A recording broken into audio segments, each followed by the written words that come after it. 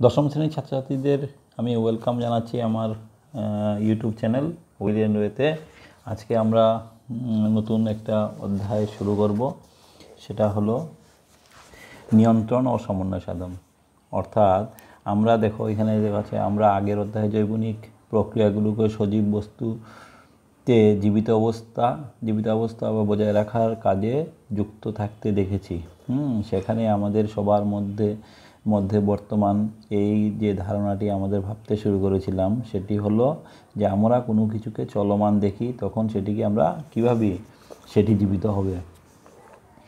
এই চলনগুলোর মধ্যে এই চলনগুলোর মধ্যে কি আছে দেখো, কিছু কিছু বস্তু অঙ্কুরিত হয় এবং বৃদ্ধি পায়। আমরা দেখতে পারি যে চারা গাছটি কিছুদিনের মধ্যেই কী হয়, অগ্রসর হয় মাটি চারপাশ থেকে সরিয়ে বেরিয়ে আসে। কিন্তু তাদের বৃদ্ধিকে বন্ধ করে দেওয়া হতো তাহলে এই চলন ঘটতো না।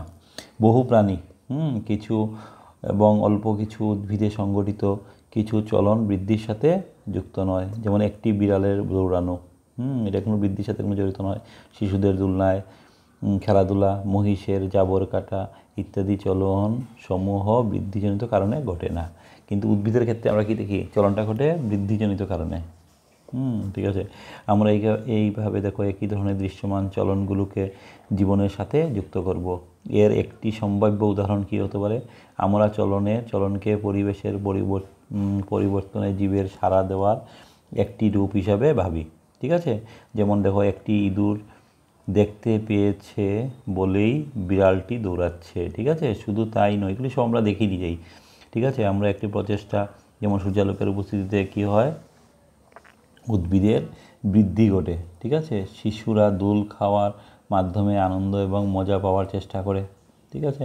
কঠিন খাবারকে ভাঙতে সাহায্য করার জন্য মৌখিক খিসকি করে জাবর কাটে। দেখবে প্রথম একসঙ্গে খাবার খেয়ে নেয়, পরে আস্তে আস্তে এগুলোকে কী করে জাবর কাটে, ঠিক আছে? আমাদের চোখের উপরে উজ্জ্বল আসে, উজ্জ্বল যখন আলো এসে পড়ে, তখন আমরা কী করি?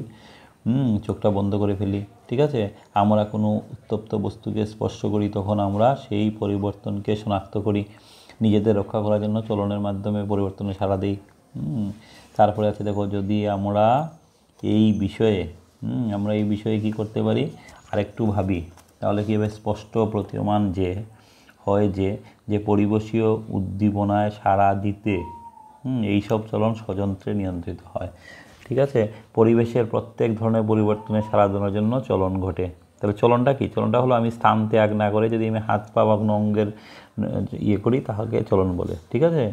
যখন আমরা শ্রেণীকক্ষে বন্ধুদের সঙ্গে কথা বল- বলতে যাই, তখন আমরা জুড়ে জুড়ে চিৎকার করার পরিবর্তে ফিস ফিস করে কথা বলি। স্পষ্টতই যে চলন ঘটবে, সেই চলনটির সূত্রপাত ঘটায়, তার উপর নির্ভর করে, ঠিক আছে? এই ধরনের, দেখো, এই ধরনের যুক্ত থাকা কী হবে? অবশ্যই, হুম, প্রভাবে চলন ক্ষেত্রে ঘটবে। অন্যভাবে বলতে গেলে, দেখো কি বলা হচ্ছে, অন্যভাবে বলতে গেলে সজীব বস্তুসমূহ নিয়ন্ত্রণ ও সমন্বয় সাধনের সহায়ক তন্ত্রগুলি অবশ্যই ব্যবহার করবে। বহুকুশি বুঝে তো, যেমন মানুষ, এগুলি বহুকুশি বিড়াল বহুকুশি বহুকুশি জীবসমূহের দেহ সংগঠনের সাধারণ নীতি অনুসরণ করে নিয়ন্ত্রণ সমন্বয় সাধনে সহায়ক ক্রিয়াগুলোকে চালানোর জন্য বিশেষ কলাসমূহ ব্যবহৃত হয়। ঠিক আছে? আমরা দেখো এখানে যে প্রাণীদের স্নায়ুতন্ত্র, এবার আমরা যাব গিয়ে প্রাণীদের স্নায়ুতন্ত্র। এখানে প্রাণীদের স্নায়ুতন্ত্রে কী হয়েছে দেখো? প্রাণীদের স্নায়ুতন্ত্রে কি বলা হয়েছে? আমরা নবম শ্রেণীতে অধ্যয়ন করেছি যে প্রাণীদের ক্ষেত্রে, প্রাণীর ক্ষেত্রে এই নিয়ন্ত্রণ নিয়ন্ত্রণ মানে বুঝতো কোনো কন্ট্রোল করা, বা ইংরেজিতে কন্ট্রোল সমন্বয় সাধনের জন্য কাজটি স্নায়ু ও পেশিকলার দ্বারা কি হয়? সম্পন্ন হয়। কোনো বস্তুকে স্পর্শ করলে তা আমাদের জন্য জরুরি এবং বিপজ্জনক অবস্থার সৃষ্টি করে।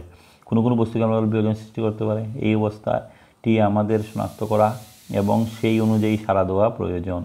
আমরা একটি বস্তুকে স্পর্শ করেছি। তা আমরা কীভাবে কীভাবে হ্যাঁ কীভাবে কি করব দেখো? কীভাবে শনাক্ত করব? ঠিক আছে? আমাদের পরিবেশ থেকে গৃহীত উদ্দীপনা, কিছু স্নায়ুর কোষের মাধ্যমে বিশেষ, বিশেষিত প্রান্ত দ্বারা শনাক্ত হয়। আমাদের কর্ণ, নাসিকা, জিহ্বা এদের মতো অন্যান্য জ্ঞানেন্দ্রগুলোতে এইসব গ্রাহগুলো সাধারণ অবস্থান। আচ্ছা তাহলে কি হলো? আমরা পরিবেশকে বুঝতে গেলে আমাদের কি করতে হবে? আমাদের দেখো, কি কি আছে স্পর্শ ইন্দ্রিয়? আমাদের ইন্দ্রিয়, কী আছে? আমরা জানি আমাদের ইন্দ্রিয় আছে যেমন কর্ণ নাসিকা জিহ্বা এদের মতো জ্ঞান ইন্দ্রিয় আমাদের জ্ঞান ইন্দ্রিয় আছে পাঁচটা ঠিক আছে? এইগুলো গ্রাহকগুলো এই- এইসব ক্ষেত্রে কি গ্রাহক থাকে সাধারণ অবস্থান ঠিক আছে? সুতরাং স্বাদ গ্রাহকগুলো কোনো বস্তুর স্বাদ শনাক্ত করে ঘ্রাণ গ্রাহকগুলো গন্ধের শনাক্ত করে যেমন আমরা কোনো খাদ্য পেলাম মাছের ইয়ে, তোমরা কি বলো মাংসের তরকারি হলে আমরা গন্ধ শুনে বলতে পারি যে মাংস রান্না হচ্ছে। ঠিক আছে? জিব্বাই দিয়ে আমরা চোখ বন্ধ করে জিব্বাই দিয়ে লবণ এবং চিনির মধ্যে আমরা পার্থক্য করতে পারি। কারণ স্বাদ গ্রাহকগুলোকে আমাকে কী করে? শনাক্ত করে দেয়। একটি স্নায়ুকোষ বা নিউরনের ডেনড্রাইটের অগ্রপ্রান্তে উদ্দীপনা গৃহীত হলে, দেখো সাতের ক, এই যে, দেখেছ? হুম, সেভেন পয়েন্ট ওয়ানের ক। এখানে সেভেন পয়েন্ট ওয়ান নয়, ভুলে লিখেছে, সেভেন পয়েন্ট টু হবে, এই যে সেভেন পয়েন্ট টু এর ক হবে এটা। ঠিক আছে? এই যে এই যে ছবিটা দেখো তোমরা, ভালো করে। এটা হচ্ছে নিউরনের গঠন। এই যে, নিউরনের গঠন, ঠিক আছে? এই যেটা হলো কি কি? নিউরনের গঠন। নিউরনের গঠনের ছবিটা ভালো করে দেখে নাও। একগুচ্ছ রাসায়নিক বিক্রিয়ার ফলে তড়িৎ হ্যাঁ? এক, কেউ বলছে, দেখো, একগুচ্ছ রাসায়নিক বিক্রিয়া ঘটে, যার ফলে তড়িৎ স্পন্দন সৃষ্টি হয়। যেমন স্নায়ু স্পন্দনের ডেনড্রাইট, ঠিক আছে? ডেনড্রাইট হলো এইগুলো, এই যে এই যে ডেনড্রাইট লেখা আছে, ডেনড্রাইট। দেখো কি বলেছে? স্নায়ু স্পন্দনের ডেনড্রাইট থেকে স্নায়ু কুষ্টির দেহকোষে পরিবহি, পরিবাহিত হয়। তারপর অ্যাকশন বরাবর পরিবাহিত হয়ে এক প্রান্তে বোঝায় তাহলে এটা হলো কি কি? অ্যাকশন। তাহলে এখানে কোনো উদ্দীপনা যদি পায়, তাহলে কি হবে? যে ইলেকট্রিক্যাল ইম্পালস বা তড়িৎ স্পন্দন তৈরি হয়। এই, এইগুলি তারপরে এখান থেকে উদ্দীপনা আসে, এসে এই যে আরেকটা প্রান্তে পৌঁছায়, স্নায়ু প্রান্তে পৌঁছায়। ঠিক আছে? এই দেখো, স্নায়ু প্রান্তে পৌঁছায়। হুম অ্যাকশনের প্রান্ত ভাগে কী থাকে? এই তরিস্পন্দন পৌঁছানোর ফলশ্রুতিতে এই অংশে কিছু রাসায়নিক পদার্থ নির্গত হয়। যখন এই প্রান্তে যাবে, কোনো খবর মেসেজ তখন এখানে একটা কী হবে? রাসায়নিক পদার্থ নির্গত হয়। এই রাসায়নিক পদার্থগুলো দুটো নিউরনের মধ্যবর্তী ফাঁকা স্থান বা সাইন্যাপস অতিক্রম করে।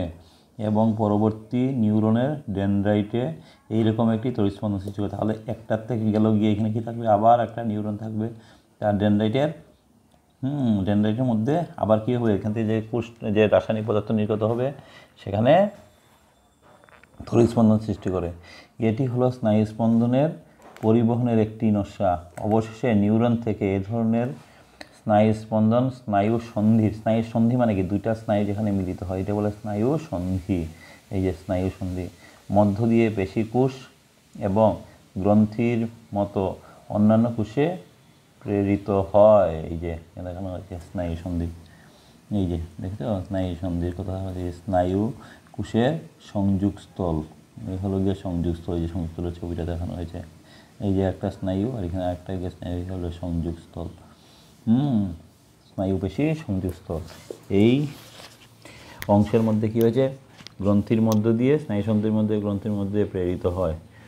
তাই এতে আশ্চর্য হওয়ার কিছু নেই। স্নায়ু কলা স্নায়ুকোষ বা স্নায়ুকোষটাকে ইংরেজিতে নিউরন বলা হয়। নিউরনের একটি সংগঠিত জালক গঠিত হয়। এই কলা দেহের এক প্রান্ত থেকে অন্য প্রান্তে তড়িৎ স্পন্দন রূপে বার্তা পরিবহনের জন্য বিশেষিত হয়। হুম, তাহলে কি বলা হয়েছে দেখো সেভেন পয়েন্ট ওয়ান দেখো, একটি নিউরনের অংশগুলোকে শনাক্ত করো এবং সেখানে উদ্দীপনা গৃহীত হয়। দেখো, এখানে কি দেখানো হয়েছে যে একটি নিউরনের অংশগুলোকে শনাক্ত করো। শনাক্ত তো আমরা করে ফেলেছি অলরেডি এই হলো গিয়ে নিউরনের বিভিন্ন অংশ ডেনড্রাইট অ্যাকশন এটা হলো কোষ দেখো, এটা হলো স্নায়ুপান্ত্র। হুম, এইগুলো আমরা কী করেছি? শনাক্ত করেছি। এক দুই নম্বর, যার মধ্যে তড়িৎ স্পন্দন পরিবর্তন যার মধ্য দিয়ে তড়িৎ স্পন্দন রূপে বার্তা পরিবর্তিত হয়, নিউরনের মধ্যে কীভাবে বার্তা পরিবর্তন হয়? এবং যেখানে এই স্পন্দনকে পরবর্তী সময়ে রাসায়নিক সংকেত দেখো, এ হলো যে যেখানে এই স্পন্দনকে স্পন্দনকে পরবর্তী অংশে প্রেরণের রাসায়নিক সংকেত পরিণত হবে। ঠিক আছে? দেখো, তোমাদেরকে একটা এখানে নিউরনের ছবি দেখাচ্ছি, যেটা একটু ডিটেলসে আছে। ঠিক আছে? দেখো, এখানে হলো গিয়ে আমরা নিউরনের একটা ছবি দেখালাম তোমাদেরকে। হুম, সেটা হলো ডেন্ড্রো ডেন্ড্রোটা বইয়ের মধ্যেও আছে আমাদের। কোষ দেহ, তারপরে এটাকে বলা হচ্ছে নিউক্লিওলাস মধ্যে যেটা থাকবে। ঠিক আছে? নিউক্লিওলাস নিউক্লিওলাস ঠিক আছে? নিউক্লিওলাসটা দেখো নিউক্লিওলাস তারপরে আছে নিউক্লিয়াস তারপরে এখানে গলগি বস্তু দেখা যাচ্ছে। এই যে জায়গাটা, যেটা ডেনড্রাইট এইখানে ডেনড্রনটা বলা হয়েছে। ঠিক আছে? মধ্যে মধ্যে কিছু দানা দানা থাকবে। নিজল কোনা বলা হয় এগুলোকে। তো এই যে জায়গাটাকে বলা হচ্ছে অ্যাকশন হিলক, দেখো, এগুলি তোমাদের মুখস্থ রাখতে হবে। কারণ এক মার্কের প্রশ্নগুলো এগুলো আসতে পারে অ্যাকশন হিলক কোথায় অ্যাকশন হিলক তারপর আছে দেখো, এই যে ফাইবারটা, এটাকে বলছে নিউরো ফাইব্রাল এই যে জায়গাটা আছে, কিছু গ্যাপ গ্যাপ দিয়ে সোয়ান কোষ, ঠিক আছে? এই গ্যাপটাকে হচ্ছে অক্ষতন্তু, ঠিক আছে? অ্যাকশন যে ব্রাডটাকে বলা হয় অ্যাকশন তারপরে এখানে বলছে নিউরোলেমা, মায়োলিন শীত রেনভিয়ারের পর্ব। তো এইগুলোই তোমাকে, সবগুলোকে আমাদের কী হবে জানতে হবে। ঠিক আছে? এই ছবিটাও তোমরা একটু ভালো করে ডিটেলসে দেখে নেবে। তাহলে এখান থেকে আমরা একটা সংজ্ঞা শিখে নিই যে নিউরন কাকে বলে।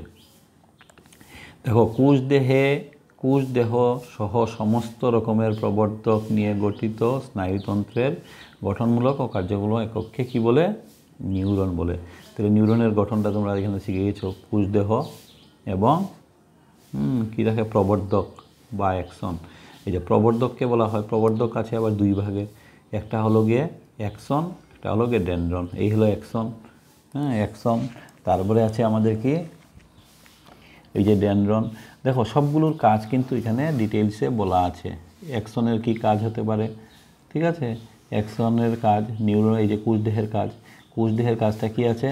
এই দেখো কোষদেহ হলো গিয়ে ড্যান্ড্রন দ্বারা আনিত, যে স্নায়ু স্পন্দন ধারণ অ্যাকশনের মাধ্যমে পাঠায়। ঠিক আছে? তারা আহ, কোষদেহের কাজ। এরপরে আছে অ্যাকশন হুম অ্যাকশন এরপরে আছে গিয়ে ড্যান্ড্রন ড্যান্ড্রনের কাজ কী হচ্ছে দেখো? ডেন্ড্রনে হলো গিয়ে নিউরনের নিউরনের কাজ হলো উদ্দীপনা গ্রহণ এবং পরিবহন করা। ঠিক আছে? এইভাবে আমরা দেখতে পারি। অ্যাকশন ও ডেন্ড্রনে কিছু পার্থক্য শিখে নেবে। ঠিক আছে? এখানে অ্যাকশন ও ডেন্ড্রনের মধ্যে পার্থক্য অনেক সময় ইম্পর্টেন্ট আছে। এই যে নি- ইহা নিউরনের কোষ দেহ থেকে নির্গত দীর্ঘ হুম, শাখাবিহীন। শাখা থাকবে না কিন্তু। শাখাহীন প্রবর্ধক। প্রবর্ধক মানে একটা লম্বা অংশ। এবং ডেন্ড্রন। ইহা নিউরনের ক্ষুদ্র শাখা প্রবর্ধক। ঠিক আছে? মাইলিন আবরণ থাকতে পারে অ্যাকশনের মধ্যে। ডেন্ড্রনে কিন্তু থাকে না। রেনবের পর্ব দেখা যায় রেনবের পর্ব থাকে না। ছবিটা আগে দেখিয়েছিলাম সোয়ান কোষ বর্তমান সোয়ান কোষ থাকে না। হুম নিজল দানা থাকে না। নিজল দানা থাকে এইভাবে তোমরা এই পার্থক্যটাও একটু শিখে নেবে। দেখো এরপরে আমরা যে জিনিসটা তোমরা দেখো, মুখে কিছু একটা কাজ আমরা দেখছি। মুখে কিছু পরিমাণ চিনি নাও, এর স্বাদ কেমন? হুম, তোমরা এটা দেখতে পারো। নাক বন্ধ নাক বন্ধ থাকা অবস্থায় চিনি ও খাবারের স্বাদের মধ্যে কোনো পার্থক্য হয় কি? হুম এইগুলি তোমরা পার্থক্য তোমরা নিশ্চয়ই বুঝতে পারবে। ঠিক আছে? তারপরে আমরা যাই গিয়ে, যেটা খুব ইম্পর্ট্যান্ট সেটা হলো প্রতিবর্ত ক্রিয়া কী? ঠিক আছে? তো প্রতিবর্ত ক্রিয়া পরিবেশীয় কোনো উদ্দীপনা সাড়া দেওয়ার জন্য যখন আমরা তাৎক্ষণিকভাবে তাৎক্ষণিকভাবে ক্রিয়া, কথা ভাবি, তখন আমরা রিফ্লেক্স বা প্রতিবদ্ধ শব্দ ব্যবহার করি। আমরা যা, আমরা দেখো, আমরা বলে থাকি যে আমি নিজের অজান্তেই বাসের সম্মুখে আমরা বাস আসছে, হঠাৎ করে লাভ দিয়ে তোমরা সরে যাবে।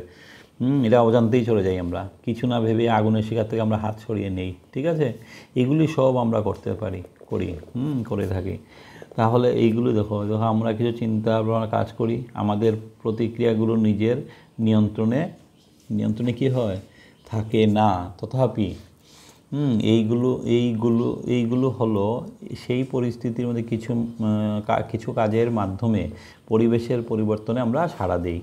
এই ধরনের পরিস্থিতি কীভাবে নিয়ন্ত্রণ ও সমন্বয় সাধন করা যায়? এগুলি কীভাবে করা যায়? দেখো, এই পরিস্থিতিগুলো আমরা আরও একটু ভাবি, আমাদের উপরের উদাহরণ থেকে আমরা বেছে নেই, ঠিক আছে? অগ্নিশিকার স্পষ্ট মানে আগুনে আমরা হাত দিলে আতকেও আমরা সরিয়ে ফেলি। বস্তুত কোনো প্রাণীর জন্য তাৎক্ষণিক বা বিপজ্জনক অবস্থার সৃষ্টি করে। আমরা এই কীভাবে এই পরিবর্তনে সাড়া দেব? ব্যথা সম্পর্কে সচেতন ভাবে চিন্তা করা, পুড়িয়ে যাওয়ার সম্ভাবনা, তাই হাত সরিয়ে নেওয়া সরিয়ে নেওয়া হলো। হুম এইগুলি সব আমরা আপাত দৃষ্টিতে আমরা করছি ঠিক আছে? তো এইভাবে চিন্তা করে দেখো, আমরা কীভাবে চিন্তা করব তার উপর তো নির্ভর করবে। আমরা পূর্ব যে আলোচনা করেছিলাম সেখানে স্নায়ু স্পন্দন প্রেরিত হয় হুম তখন আমাদের চিন্তা স্পন্দনের সাথে যুক্ত থাকতে পারে। চিন্তন হলো একটি জটিল প্রক্রিয়া চিন্তন মানে চিন্তা করা। তাই এর সাথে নিউরন থেকে আগত স্নায়ু স্পন্দনের একটি জটিল আন্তঃপ্রক্রিয়া যুক্ত থাকতে হবে ঠিক আছে? দেখো, তাহলে আমরা এখান থেকে একটা জিনিস আমরা করতে পারি যে, যেমন ধরো প্রতিবর্ত ক্রিয়া যদি আমরা বলতে হয়ে, তাহলে আমরা তোমাদেরকে একটু বুঝিয়ে বলছি যে, আমরা অনেক সময় কি হয়, যদি আমরা ঘুমিয়ে না থাকি, তাহলে আমরা দেখবে যে, কোনো মশা যদি আমাদের কামড় দেয়, তাহলে আমরা কি আমাদের খবরটা, সেই খবরটা সংজ্ঞাবহ স্নায়ুর মাধ্যমে মস্তিষ্কে বোঝায় মস্তিষ্ক তখন কি বলে, নির্দেশ দেয় মশাটাকে উড়িয়ে দিতে বা মারতে, ঠিক আছে? কিন্তু ঘুমন্ত অবস্থায় যদি হয়, তখন কি হয়, আমরা হাত পাকে সরিয়ে নিচ্ছি। এই প্রতিক্রিয়াটা কিন্তু মস্তিষ্ক নিয়ন্ত্রণ করে না। এই যে ঘুমের সময় যখন আমরা মশায় কামড় দেয় ঠিক আছে? তাহলে কি বলল যে ঘুমানোর সময় মস্তিষ্ক নিয়ন্ত্রণ করে না। হুম, এই প্রতিক্রিয়াটি সুষমাকাণ্ড দ্বারা নিয়ন্ত্রিত হয়। ঠিক আছে? তাহলে মস্তিষ্ক ঘুমের সময় কী হয়? মস্তিষ্ক নিষ্ক্রিয় থাকে। তাই এই প্রতিক্রিয়াটি কে নিয়ন্ত্রণ করে? সুষমাকাণ্ড নিয়ন্ত্রণ করে। মস্তিষ্কের দ্বারা মস্তিষ্কের দ্বারা নিয়ন্ত্রিত এই হ্যাঁ, সাধক প্রক্রিয়াটিকে কি বলে? সুষমাকাণ্ড দ্বারা নিয়ন্ত্রিত হয়। এইটাকেই প্রতিবর্ত ক্রিয়া বলা হয়। তাহলে মস্তিষ্ক দ্বারা নিয়ন্ত্রিত নয়, কিন্তু সুষমাকাণ্ড দ্বারা নিয়ন্ত্রিত হয়। এই প্রতিক্রিয়াটাকে আমরা বলি ঘুমের অবস্থায় বললাম, হুম, সেটাকে বলা হয় প্রতিবর্ত ক্রিয়া। ঠিক আছে? দেখো, প্রতিবর্ত ক্রিয়া, তোমরা অনেক সময় বলবে যে এটা কীভাবে প্রমাণিত হলো? হ্যাঁ দেখো, স্টিফেন হেলস একটা ঘটনা তোমাদেরকে বলছি। স্টিফেন হেলস কি করেছিল? আঠারোশো, সতেরোশো পঞ্চাশ খ্রিস্টাব্দে এই পরীক্ষাটা প্রথম করেছিলেন। এটা কুনুবঙ্গের কী করেছিলেন? মাথাটাকে পুরো নষ্ট করে মস্তিষ্কটাকে নষ্ট করে দিয়েছিলেন। তারপরে পায়ের মধ্যে একটা পিন ফুটালো। পিন দিয়ে এটা, হুম, পিন ফুটালো পায়ের মধ্যে উনি। তখন দেখলেন উনি পাটা শরীর সংকুচিত হচ্ছে। তাহলে এটা কে করছে? এটা মস্তিষ্ক তো নষ্ট হয়ে গেছে। তাহলে এটা সুষমাকাণ্ড নিয়ন্ত্রণ করে। ঠিক আছে? এটাই হলো গিয়ে প্রতিবর্ত ক্রিয়া, ঠিক আছে? তাহলে তোমাদেরকে যদি আমি বলি যে প্রতিবর্ত ক্রিয়ার একটা সংজ্ঞা, তোমার প্রতিবর্ত ক্রিয়া সংজ্ঞাটা কী হবে? বাহ্যিক বা আভ্যন্তরীণ, ঠিক আছে? আকস্মিক উদ্দীপনায় মূলত সুষমাকাণ্ড দ্বারা নিয়ন্ত্রিত প্রাণীদের, হুম, প্রাণীদেহে। প্রাণীদেহে যে দ্রুত স্বতঃস্ফূর্ত অনৈচ্ছিক প্রতিক্রিয়া সৃষ্টি হয়, তাকে কি বলে? প্রতিবর্ত ক্রিয়া বলে। ঠিক আছে? প্রতিবর্ত ক্রিয়া কয় রকমের হতে পারে? দুই রকমের হতে পারে। একটা হলো সহজাত বা শর্তবিহীন, আরেকটা হলো অভ্যাসগত বা শর্তাধীন প্রতিবর্ত ক্রিয়া। ঠিক আছে? সহজাতটা কি? যেমন ধরো আমরা পূর্বপুরুষ থেকে প্রাপ্ত হয়, হুম, যেমন ধরো জন্মের সঙ্গে সঙ্গে শিশুর দুধ পানের ইচ্ছা, উজ্জ্বল আলোকে চোখ বন্ধ হওয়া, এইগুলো। ঠিক আছে? ঠিক আছে? তারপরে আমরা দ্বিতীয়টা কি হতে পারে? দেখো, দ্বিতীয়টা আমরা দেখে নেই। হুম, একটা হলো গিয়ে সহজাত আর একটা হলো অভ্যাসগত। অভ্যাসগত কোনটা হতে পারে? দেখো, যেসব প্রতিবর্ত ক্রিয়া জন্মের বিভিন্ন অভ্যাসের মাধ্যমে অর্জিত হয়, তাকে অভ্যাস জাতীয় প্রতিক্রিয়া বলে। যেমন ধরো, যে কোনো কাজ অনুশীলন দ্বারা কিছুদিনের মাধ্যমে, কিছুদিনের পর মস্তিষ্কের সাহায্য ছাড়াই ওই কাজটি করা সম্ভব হয়। হুম তাকে প্রতিবর্ত ক্রিয়া বলে শর্তাধীন প্রতিক্রিয়া বলে। যেমন বিজ্ঞানী পেভলভ একটা পরীক্ষা করেছিলেন, একটা কুকুরকে কী করেছিল ডেইলি খাবার দিয়েছিলেন একই টাইমে ঘণ্টা দিয়ে দিয়ে। তারপরে উনি দেখলেন কি, যে ঠিক টাইমে খাবার না দিলেও লালা নিঃসরণ হচ্ছে। ঠিক আছে? এই যে সহজাত এবং অভ্যাসগত। এটা একটু একটু পড়ে নাও তোমরা। তো ওইটাও কোর্স যদিও বইটার মধ্যে আছে। প্রতিবর্ত জন্মগত এবং এই প্রতিবর্ত জন্মগত নয়, অভ্যাসের দ্বারা অর্জিত হয়। অভ্যাসগত যেটা, ঠিক আছে? প্রতিবর্ত শর্ত নিরপেক্ষ, কিন্তু এই প্রতিবর্তর অভ্যাসগতটা কি শর্ত সাপেক্ষ বা শর্তাধীন? যেমন কুকুরকে কী হয়েছিল? নির্দিষ্ট সময় খাবার দেওয়া হয়েছিল। তারপরে খাবার না দিলেও কীভাবে লালা পড়ে যায়? তাহলে এটা অভ্যাসগত হয়েছিল, ঠিক আছে? এইভাবে তোমরা দেখো, এই পথ নাই, তোমরা এইভাবে আমরা এটাকে, এটা একটু পড়ে নেবে। তাহলে এবার আমরা যাই গিয়ে হুম প্রতিবর্ত ক্রিয়া কী এবং একমাত্র সুষমাকাণ্ডের কাজ। এইবার আমরা যাচ্ছি মানুষের মস্তিষ্ক। ঠিক আছে?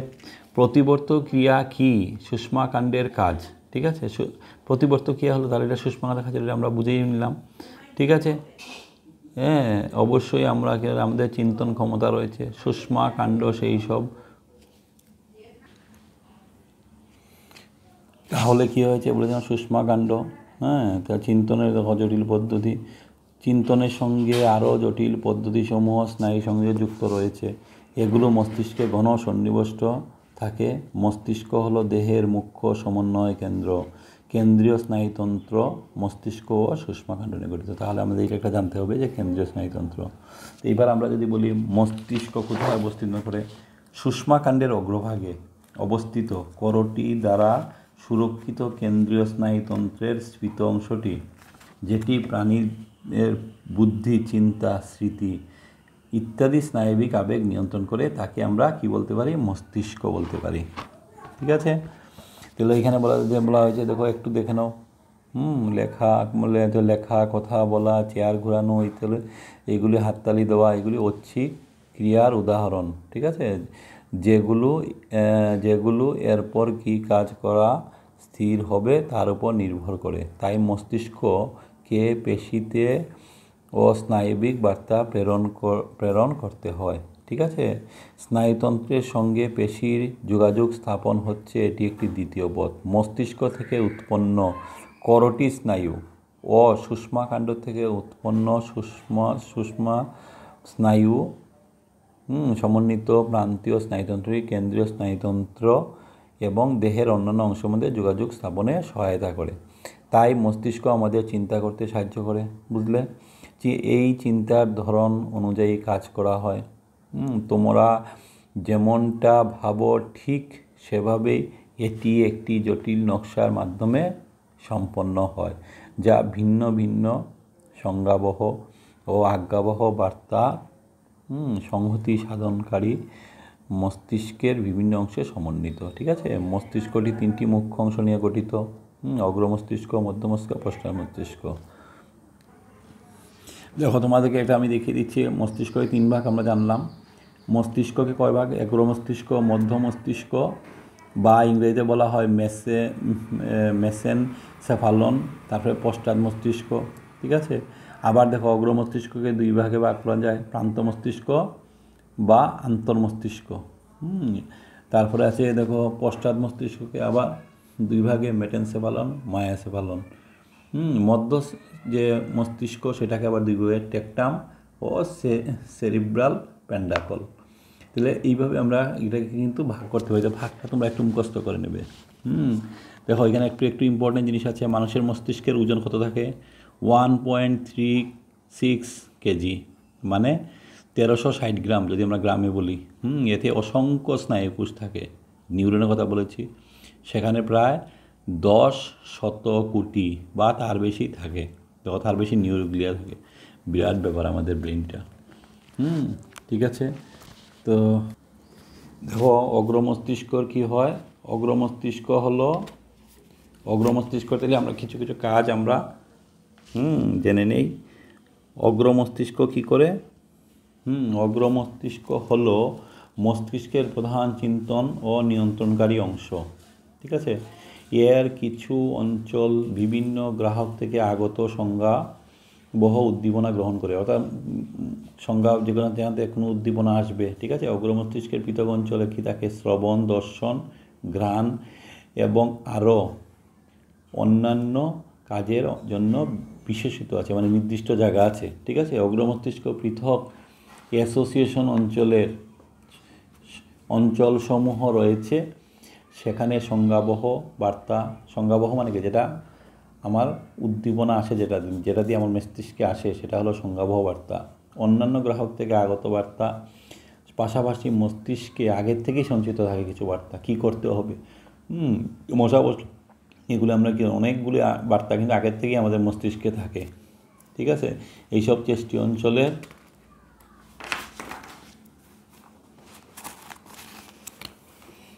ঠিক আছে? এখানে দেখো একটা ছবি দেওয়া আছে। প্রেরিত হয়। আচ্ছা এই জায়গাটা একটু বলে নিই। প্রেরিত হবে, ঐচ্ছিক পেশি নড়াচড়া নিয়ন্ত্রণ করবে। হুম, কী হবে? নিয়ন্ত্রিত হয়, একটি সিদ্ধান্ত হয়। উদাহরণস্বরূপ আমাদের পায়ের পায়ের কী হয়? পেশিসমূহ। কিছু সংবেদন বা দর্শনজনিত সংবেদন পৃথক হয়। উদাহরণস্বরূপ আমরা কীভাবে বুঝব? দেখো যেমন খেয়েছি, কিন্তু খেয়েছি যে আমাদের পূর্ণ খাওয়াটা সম্পূর্ণ হয়েছে কিনা, মস্তিষ্কে ক্ষুধার সাথে জড়িত একটি স্নায়ু আছে উপস্থিত কারণে আমরা বুঝতে পারি যে আমাদের পেট ভরে গেছে। ঠিক আছে? এই স্নায়ু কেন্দ্রটি অগ্র মস্তিষ্কের পৃথক অঞ্চলে অবস্থিত। খাদ্যের যে যে আমাদের সিগন্যাল দেওয়ার জন্য একটা পৃথক অঞ্চল আছে। মানুষ মস্তিষ্কের চিহ্নিত চিত্রটি অধ্যয়ন করো, ঠিক আছে? আমরা একটু অধ্যয়ন করে নেই, তাহলে এই হলো গিয়ে আমাদের মস্তিষ্ক। এই জায়গাটা হলো গুরু মস্তিষ্ক। এই যে বাইরের লেয়ারটাকে বলেছে? ক্রেনিয়াম বা করটি, বাংলায় করটি। এটা হলো সামনের দিকটা মস্তিষ্ক, এটা হলো অগ্র মস্তিষ্ক।